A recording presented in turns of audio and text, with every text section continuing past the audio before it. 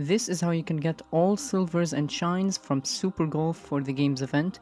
So for the silvers, there are three different quests that you need to complete uh, to complete in order to get the three silvers. Uh, and basically, what you need to do is you need to uh, score 10 goals in uh, in the hockey game mode, 15 in the basketball game mode, and then you need to get top five in any game mode. Uh, so this is pretty easy. If you want to know how to find the hockey and basketball uh, game mode, just go to the servers and uh, switch game modes to like hockey or basketball, depending on what you want. And then um, for the shines, the shines are actually pretty simple.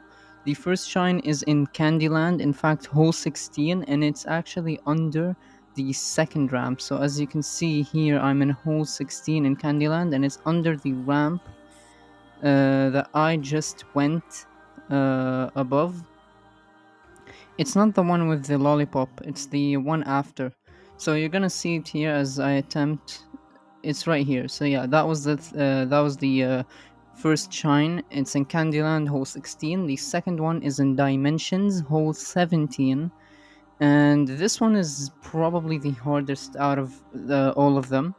For this one, you need to go uh, play through the map normally and then you're gonna see this uh, kind of i recommend going through this portal by the way.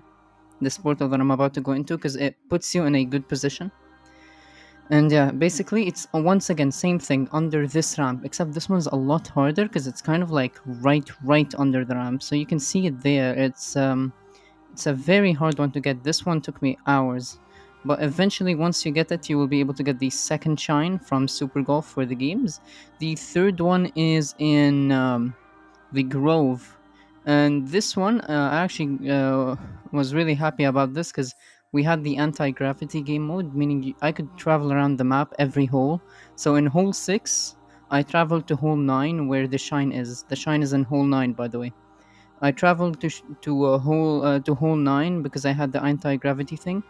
And uh, I was able to get the shine. It's actually right next to the blue mushroom that's inside this cave here. So uh, as you can see i'm right now trying to go inside the cave.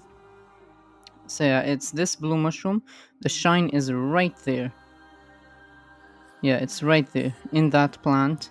Uh, you're gonna wanna just hover over and try to get it. Now obviously for you you might not have anti-gravity so it's gonna be harder for you but thankfully for me i had anti-gravity making it easier. I didn't even have to wait until hole 9 um And then the next one is in Canyon, specifically hole 4.